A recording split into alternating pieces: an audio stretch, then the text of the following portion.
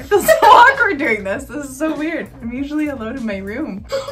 Why is this so weird? We're not gonna be able to get through this. Hey guys, welcome back to another video. My name is Emma Lefebvre and today I'm here with my gorgeous niece, Bianca.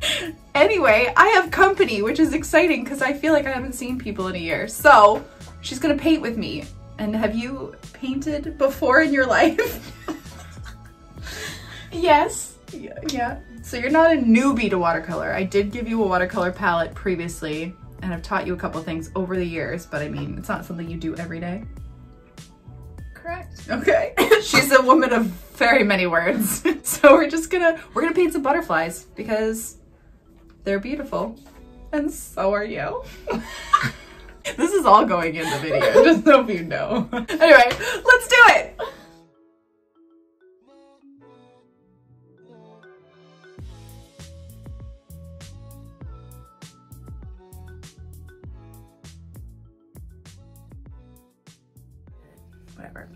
So we are painting watercolor butterflies. Um, we're painting on arches, watercolor paper. Um, we have Princeton snap brushes in a size 12 and a size 6 round, pencils, and an eraser, and water, and paper towel. And we're using my Princeton, nope, my Winsor Newton professional watercolors. We'll just share that. Okay, so we're gonna do some butterflies. You can either do this with drawing it out first, or you don't have to, but I feel like we should draw it out first because we should do that. Okay, so I'm just gonna do like a tiny little head thingy. Like that. And try, yeah, try not to do it too dark because we will try to erase it after. And we're just gonna try and make this as symmetrical as we can. I'm gonna do like little shoulders almost just for the butterfly to know where we're gonna put our wings. And then we're gonna go up we're gonna try to do the same angle on the other side. I think the hardest part is trying to make it as symmetrical as possible. So if you wanna trace the butterfly picture, you definitely could. But I always start with the, see I don't even know if that's symmetrical. Sometimes I have to step back and look. Like that. There's hair on my sleeve. There's a hair on your sleeve? Mm. All right, and then you're gonna do kind of like a bump at the top of the, yeah. At the top of the wingy, wingy thingy. I'm actually just gonna draw the body just so oh, I can get... she's not centered. That's okay. You can erase if you like. That's my stress ball slash kneaded eraser. And then you're gonna do a rounded top up here and then just kind of do like a little squiggly squiggly these are my like really technical um, artist terms. Squiggly squigglies with a round, a round and then into a squiggly squiggly. Mm. At around like halfway where the body is. This guy's gotta come down. And if you need to erase like 10 million times, you can do that because that's what I usually do. And I just edit it out so nobody knows and they think. It's perfect the first time. Exactly. They just think I'm all wonderful. Sometimes also if you want to ever get a ruler and like measure out the same distance of where you the wings kind of mm-hmm. can go, that can also help make it symmetrical. But I usually just eyeball it and if it works out, it works out and if it doesn't, it doesn't. And you do your squigglies to like about halfway where the body is. So sometimes it's easier to So when usually when I'm sketching something, I just look at proportions. So I'll look at the body size, look where that big first wing's gonna end. That's how I kind of plan it out. And I don't know if they're gonna be able to hear the random screams from Noah outside washing the car, but that happens. Usually there's construction. Do you generally do voiceovers or just keep the audio? I keep the audio, unless there's construction and it's really, really bad, which happens sometimes. Okay, so then from the middle here, see how there's like, there's gonna be kind of like a V in this little area right here? Yeah. So it's gonna come down. So try and do the same V shape on both sides. Mm.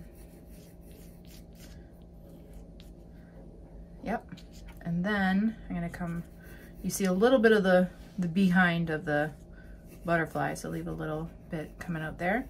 And then you can really just kind of make it whatever shape you want. It doesn't have to be exact to anything real, but I'm just gonna do like Squiggly squigglies. Down. There we go. How does it?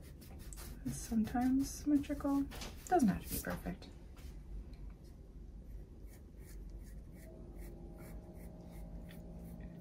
And then once you're done, you're gonna roll the eraser over top of your drawing to make those lines lighter. It doesn't have to be perfect.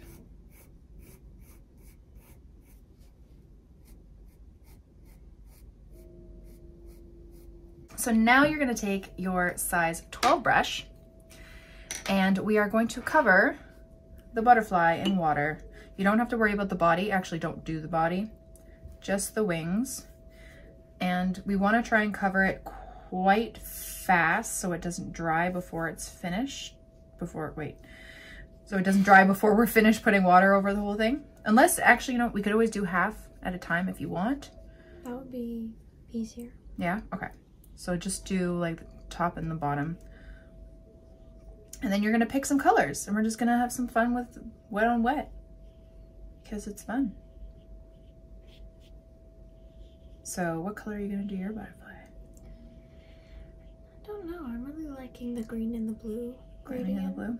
But That's I don't know how to.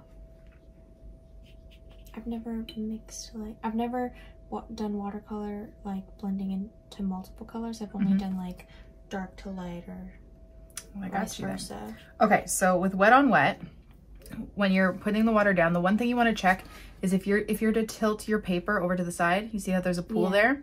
You don't want to pool because then the water actually won't expand. So you can always take your Paper towel or you could always just like spread it around with your brush like that. And you just want a nice sheen, like see that shine, Mhm. that even shine everywhere. Okay, so now pick your color, your first color. So if you want to do green or blue first, the greens are here. That's a light green. There's blues here. I'm gonna do pink because I like pink. I'm gonna do pink because I'm a creep. There we go. And you're just going, yep. And you're just gonna tap it wherever and just like let it like bleed. I'm gonna start at the top. Yep. Don't be afraid. Put it on there. Get it on there. See, yeah. You can even add a bit more water to your brush. Yep, dip it in like that. Try tapping it a bit. Don't worry about the brush. Tap that brush. Tap it. Tap it. Maybe wash a bit of the paint off your brush. It might be a bit too intense. And try and move it down just a little bit. Like this, just bringing it down. Yep. And now wash off your brush completely. Like this. Run it against the side. Dab it on your paper towel. And then you're just gonna move. You're gonna move that color down. So there's gonna be a bit of color on your brush. Try and go like side to side. Yep. Good. Okay, then you're gonna pick your second color. Okay. So I'm gonna pick yellow. What color are you gonna pick? Blue, right? Blue. A good one might be that one, the turquoise. And what you're gonna do this time is you're gonna start from the bottom and you're gonna tap around the bottom.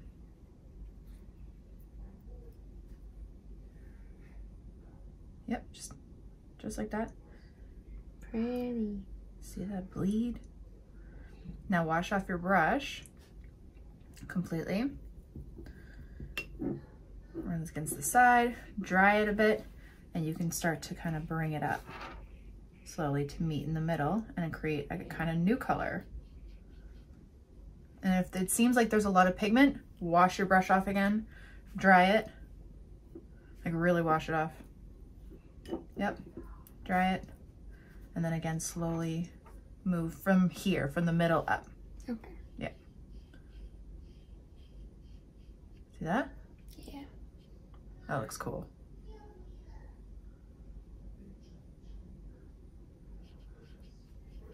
Looks awesome.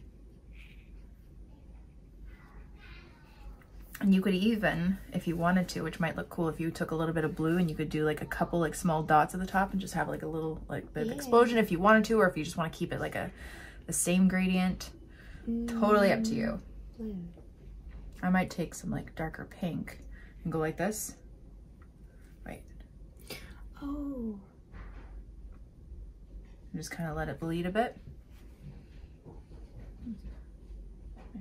Yep. If you want to, you don't have to. If it's too much on your brush, you can always just dab it on your paper towel like that too. Just take off some of that pigment. Yeah. And if you don't like that, you could always just kind of mix it into the color a little bit to get a bit of that darker shade at the top.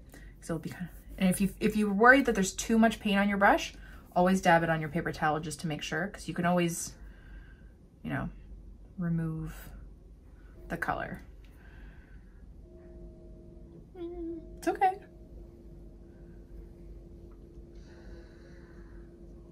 Can I like? Here, can I show you something? Yeah. You can just blend it. That's cool. And if that's too much, I'm gonna wash off my brush. Start to blend it. If you want it a bit more green, so see how it's like darker up Mhm. here? Yeah. Bring it around the side maybe a bit. And if it's ever too dark, you can always take your paper towel, fully push down, take it up, and then do it all again before it dries. But that looks pretty cool. I like this. I feel like I need a bit more pink. I'm gonna go around this way for mine a bit. Maybe a bit down here too.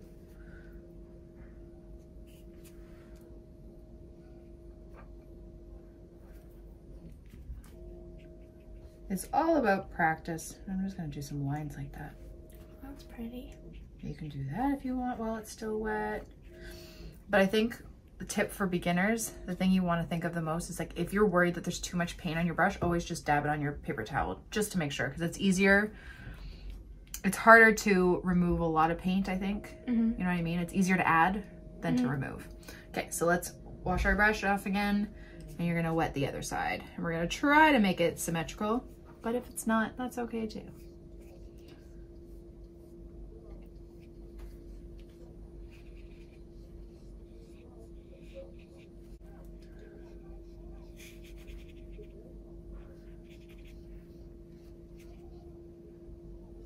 So remember, not too much water where it pools everywhere, but just that it's a nice like light shine if you're to tilt it. And always tilt it just in case if there's a lot of water and you don't see that it's pooling. And then do the same thing again.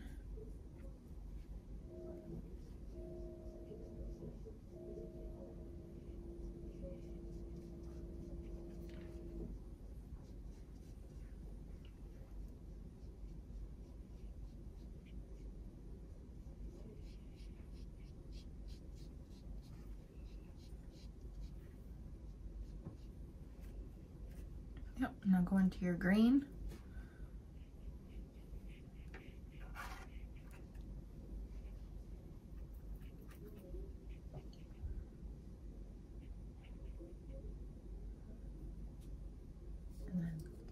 Drop it in, girl.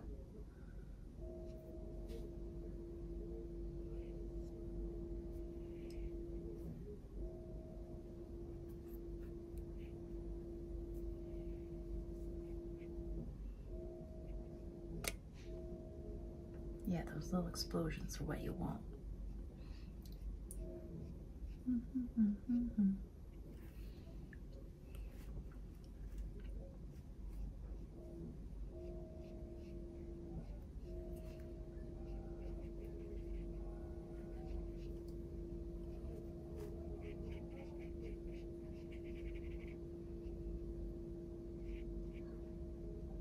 Yeah, move it all the way down to like around the middle there.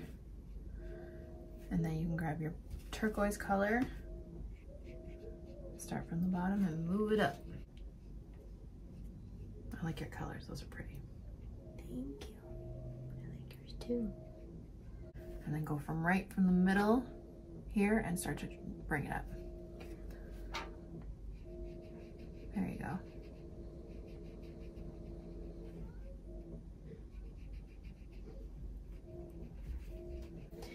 Then grab some of that turquoise, just a bit, and then we're gonna do the same thing here. So you can start with the dots like you did. So remember, if you wanna dab, dab it on your paper towel first, just to make, take off some of that color, and then you can dab it on there, yep. Yep. You, you can add a little bit of water, yep. There you go. There, and then wash off your brush completely and dry it. That's the most important because if you have too much water and you put it on here, it's gonna push all the pigment away. Oh. So you dry it and then you're just gonna move it over.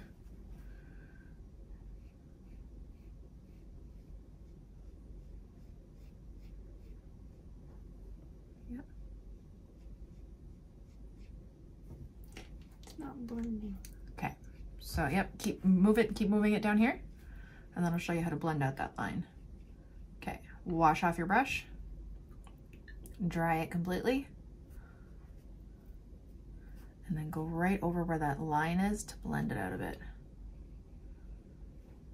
Sometimes it helps if you take your brush. Yep. See how there might have been a bit too much water? You can always just put a little bit you just kind of blend it down just bring it down a bit you can always grab a little bit more even green if you wanted to just fill that in. A little bit more turquoise. And we'll blend it out. Try and put your brush on an angle like this so it gets like half of the belly of the brush. And it just helps blend it out a bit more. Yeah, the one thing that is really difficult when you're going back to blend, you never want a lot of water on your brush because then it will push all that pigment away. Right. So if you want to, I feel like That's a darker. a little bit darker, grab a tiny bit more, yeah, more water on your brush. A bit more turquoise. Dab it on your paper towel first just to check. Yep, and then you can come up to the top. There you go. Yep.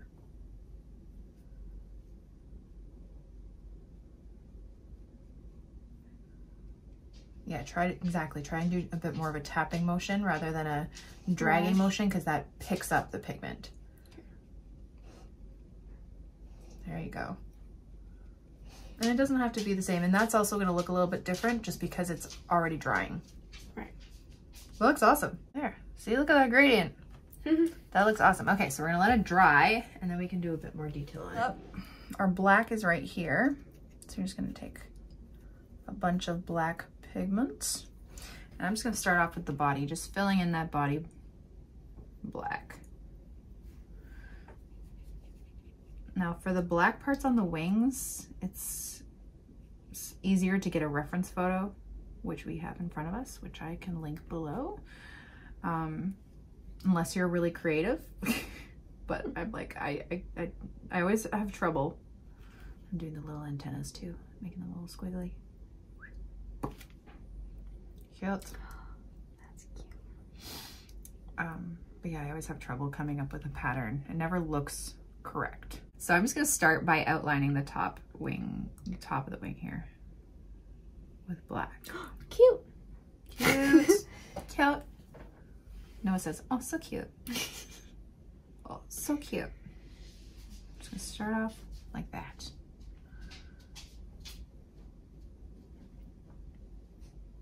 You need to add more water, more pigment, go for it. Whatever feels correct to you. And then I'm just gonna bring that line down to define the swigglies. Make it really thin as we come down.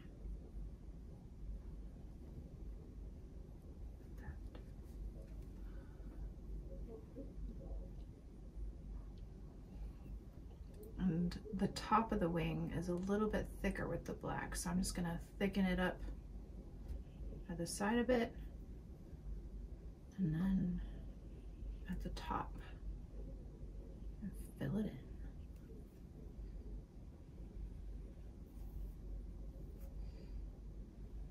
I always have trouble making this symmetrical.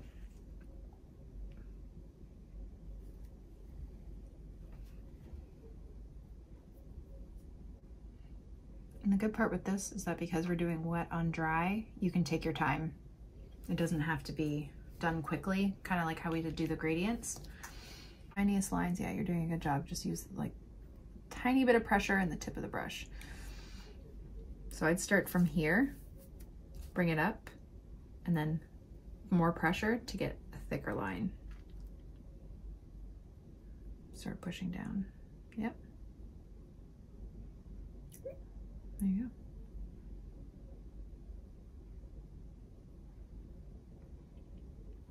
And I'm gonna start doing the same thing at the bottom here because it's pretty thick over here on our picture.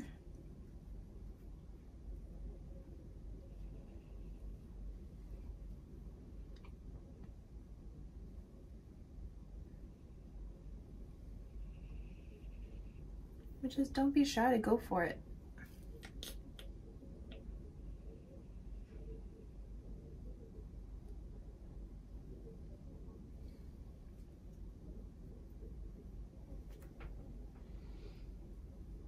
And I'm just gonna thicken up around this side too.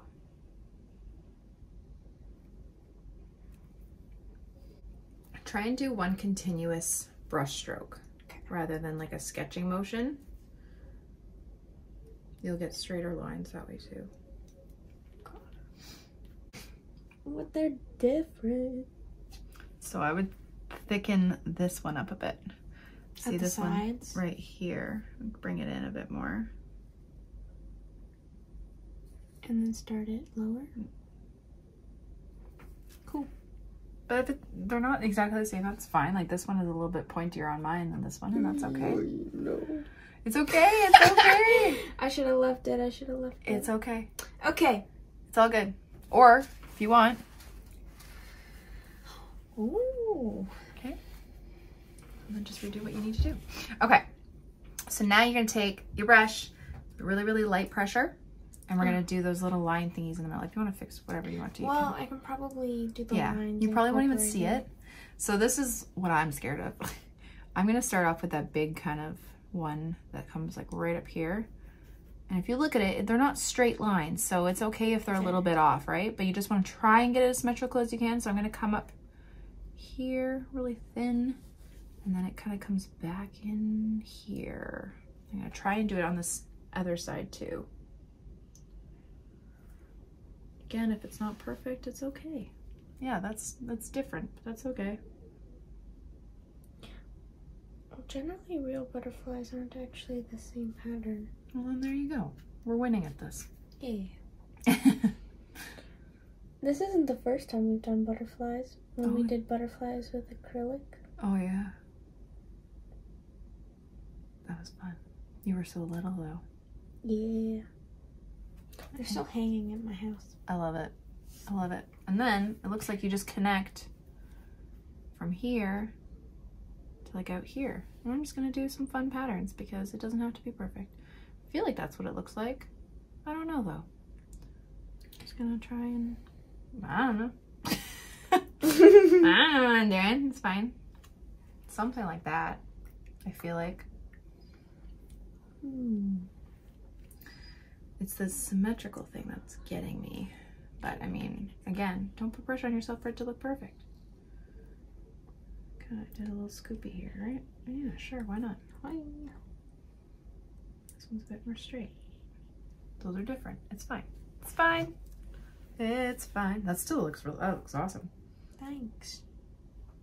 Really much I can say about this part, but just trying to eyeball where you think the lines are going. I'm just trying to do the same thing on the other side. I.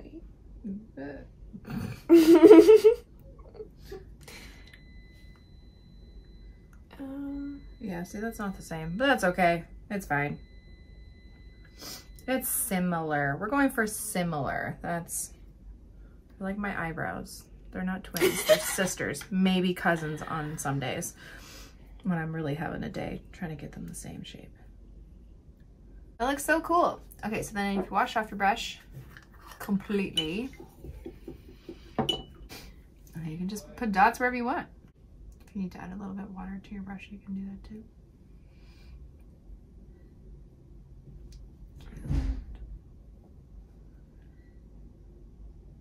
I'm finished. I love it. Okay, and so there's our butterflies. Whee!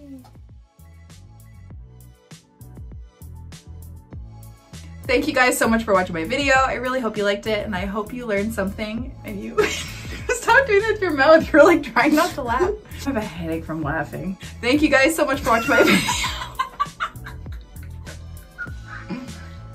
you haven't even had any sugar today. No, I've had two coffees though. Oh, I've had like three. Okay. Thank you guys so much for watching my video. I really hope you liked it and I hope you learned something and that you enjoyed our wonderful guest who can't stop laughing. Don't forget to subscribe to this channel and follow me on Instagram for more. Have a great day, guys. Bye. You can say bye too. Bye.